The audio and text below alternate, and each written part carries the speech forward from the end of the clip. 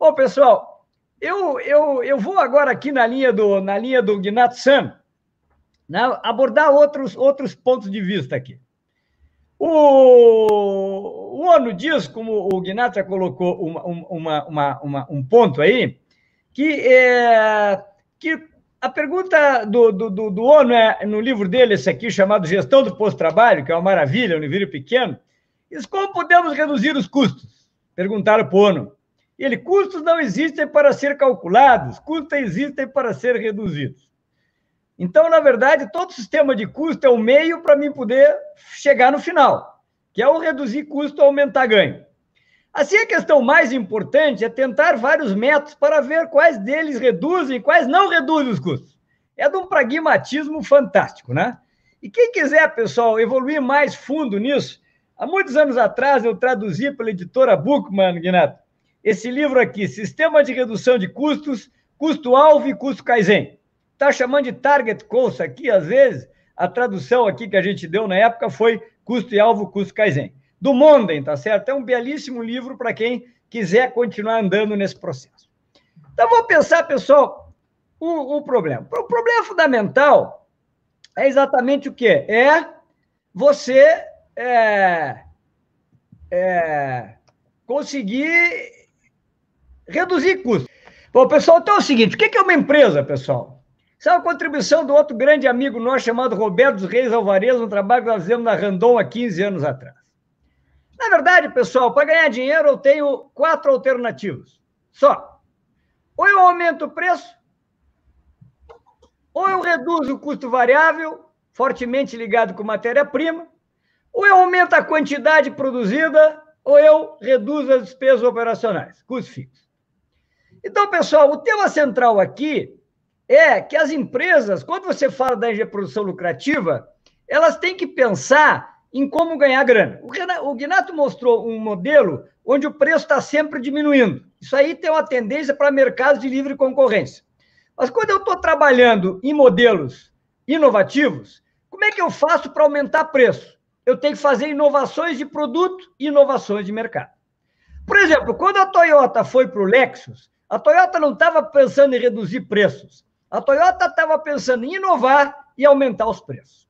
Então, preço, pessoal, não tem nada que ver com custo. O maior erro que existe é o tal do formação do preço de venda. Vejam que eu sou um infante terrível nessa aula. Por exemplo, eu dou um exemplo maravilhoso do Goldra de novo. Uma instituição queria contratar o Goldra na época, e o Goldra disse: Eu vou, vai custar, digamos, hoje 100 mil reais em um dia. Aí a moça lá veio me procurar, estava eu e o Luiz Henrique trazendo o Golder ali. Ela me, pergu me pergu eh, perguntou assim: 100 mil é muito caro. Você não poderia fazer a palestra, tu e o Luiz Henrique, é, que o Golder iria fazer? Eu digo: o que, que é caro ou barato? Não, mas ele não pode diminuir o preço. Aí eh, pergunta para o Golder. Daí a menina ligou para o Golder, o Golder disse o seguinte: ou 100 mil ou não vou, aliás, estou pensando em aumentar para 120 mil. Por quê? Porque o recurso que é raro e inimitável cobra o preço que achar bem. E se o camarada quiser ter aquele recurso inimitável, único e difícil, ele vai ter que comprar com aquele preço. Portanto, preço, pessoal, é uma relação de mercado, é uma relação de valor percebido pelo cliente, é um tema que tem a ver com a marca, tem a ver com a inovação, tem a ver com o design. Bom, custo variável. Aí podemos trabalhar pesado, que é o que eu vou mostrar para vocês, que é a redução dos custos de matéria-prima. Preço menos custo variável, e aí eu posso ter várias, ah, ah, várias ah, questões ligadas com materiais, te estabelece a margem. Meu objetivo é aumentar essa margem, ou aumentando o preço, ou reduzindo o custo variável, ou fazendo as duas coisas. Essa margem unitária, multiplicada pelas quantidades produzidas, isso significa que tem que ter mercado, me dá margem de contribuição total. E da margem de contribuição total, se eu tirar os custos fixos, as despesas operacionais, que no meu ponto de vista, como eu já falei, estão ligados com a empresa, eu vou ter lucro. O que, que o sistema tradicional de produção faz, pessoal, nesse processo? Por exemplo, se houver mercado, ou seja, se a capacidade for menor que a demanda, e se o preço menos custo variável não for mexido, se eu melhorar a utilização dos ativos, é o caso do estaleiro, eu vou aumentar as quantidades sem mexer nas despesas operacionais, tanto vai aumentar a margem global, menos as despesas operacionais, e isso vai aumentar a minha estrutura de lucro. Ou se numa situação eu não tenho como aumentar a quantidade, aí você vai trabalhar, como disse o Guinato, para reduzir esses custos variáveis. E ao reduzir esses custos variáveis, eu aumentar minha margem, não porque eu aumentei o preço, mas porque eu reduzi os custos. E, evidentemente, eu posso ou diminuir o custo variável ou diminuir as despesas operacionais, ou seja, trabalhar com menos custos fixos, com menos pessoas, com menos equipamentos, com menos prédios e aí ter mais resultado econômico financeiro. Um ponto importante da engenharia de produção lucrativa, pessoal, está na próxima lâmina, né? É exatamente o quê? A questão relacionada com materiais. Pode passar um pouquinho, por favor? Pode passar. Vamos imaginar uma empresa, pessoal, que tem 70% de materiais comprados. Isso aí é uma indústria eh, de montagem típica, 8% é o lucro, você tem salários e benefícios de 11% entre outras despesas. Esse é um perfil típico de uma indústria metal mecânica. Vocês poderiam fazer essa conta para a empresa de vocês. Passe, por favor. Aí eu vou analisar, pode passar algumas, algumas lâminas para frente. Eu tenho aqui o custo de operação, que é a mão de obra mais materiais, é, mais as despesas gerais, que me dão os custos das mercadorias vendidas, que dão ali 4 milhões 540, mais outros custos 60 mil, para frente, por favor. Se as vendas forem 5 milhões, eu vou ter um líquido de 400 mil, né? lucro líquido, menos é, dividido pelas vendas, eu vou ter uma margem de lucro, que é o lucro líquido pelas vendas, de 8%. Para frente, por favor. Do outro lado, do lado dos ativos, se eu tiver os inventários, mais contas a receber, mais fluxos de caixa, que a gente chama de circulante, te dá os ativos correntes de 1 milhão, 1 milhão e 100. Mais para frente, por favor. 1 milhão e 100 mais os ativos fixos, que são máquinas, equipamentos, te dão os ativos totais aí de 4 milhões de reais. Para frente. Se você tiver umas vendas de 5 milhões, você tem uma taxa de turnover dos ativos de 1,25. Significa que você girou os ativos 1,25. Se você agora fizer as duas coisas junto, por favor, pode passar para a próxima lâmina. Se você fizer as duas coisas juntos, tá certo? Você vai ter aqui, uh, multiplicando, uh, mais uma, por favor, você vai ter aqui, com a parte de baixo, lucro líquido sobre vendas né, e vendas sobre ativos fixos, eu vou ter o mar de lucro multiplicado pela taxa do turnover, me dá uma taxa de, é, a taxa de, de, de, de retorno sobre investimento de 10%. Agora imaginemos que eu reduzo 5% os custos de materiais e 5% os custos de matéria-prima, ou seja, o estoque diminui 5% e, e, e, o custo também de produção eu reduzo em 5%. Eu vou ter aí o resultado, pessoal, do, do aumento de 10% para 14,5% em termos de retorno sobre o investimento. Próxima lâmina, por favor. Se eu agora, pessoal, e essa lâmina aqui, por favor, vamos nos deter um pouquinho, eu reduzi 5% do custo de matéria-prima e 5% do custo de estoques. Minha pergunta é: quanto eu teria que vender para conseguir esse mesmo resultado? Ou seja, Quanto eu teria que vender para obter o mesmo resultado que reduzir em 5% o custo das matérias-primas? Aí eu tenho, na situação anterior, 5 milhões vezes 008, 400 mil. Na nova situação, eu tenho uma taxa de 11,5, eu vou ter um lucro de 575 mil. Então, eu tenho um aumento de lucro de 175 mil, oriundo dessa redução de 5% de materiais e dessa redução de 5% de inventário. Para frente, por favor. Próxima lâmina. Se eu tiver agora que vender, não, por favor, volta no anterior.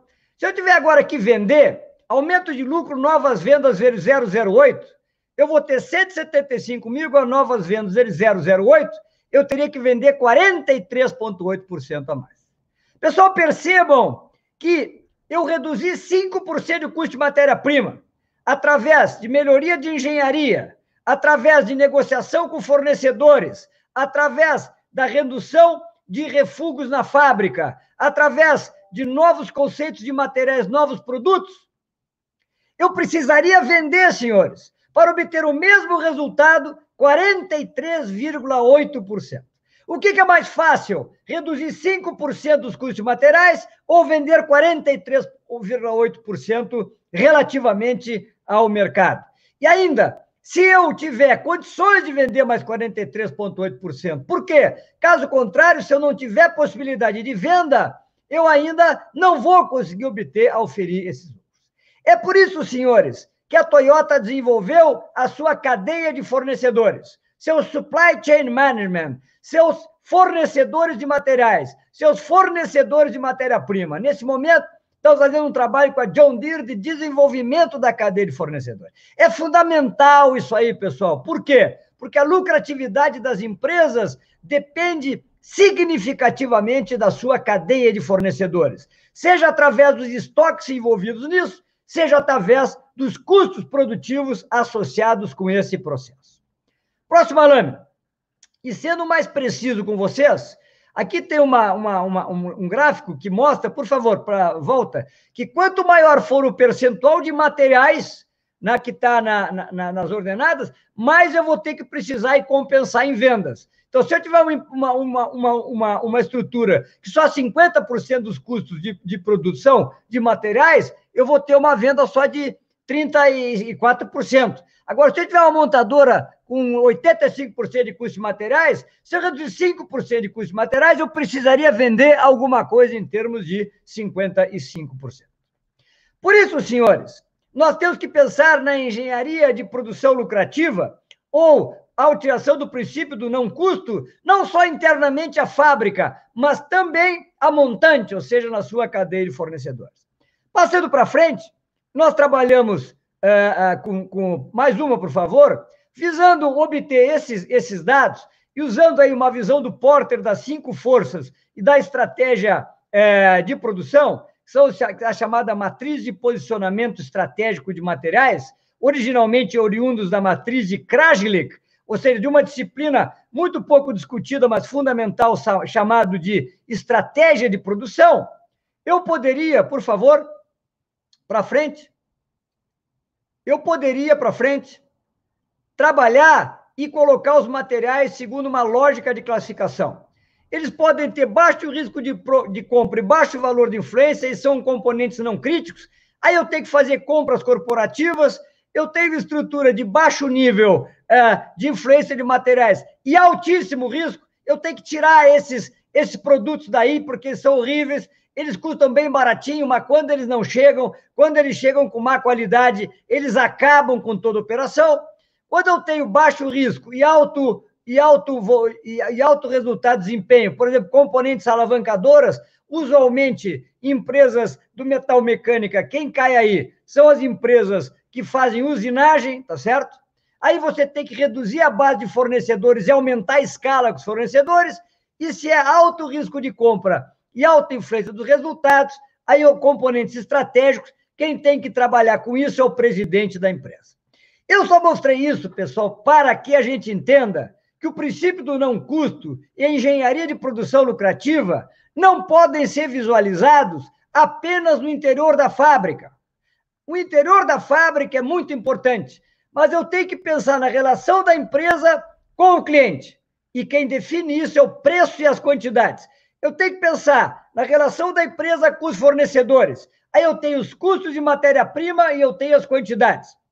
E eu tenho que pensar também o que, que eu faço internamente na organização. Meu lema final, pessoal, é: os engenheiros de produção, os administradores profissionais, os professores universitários têm que cada vez mais, se tiverem ligados com engenharia de produção lucrativa, a pensar as relações entre a economia, e para isso a teoria das restrições é fundamental, com o que a gente faz tecnicamente na fábrica. Essa saída é a saída para a competitividade da empresa brasileira. Pensar em aumentar preço, pensar em reduzir custo de matéria-prima, pensar em aumentar margem, pensar em reduzir os custos fixos e aumentar as quantidades.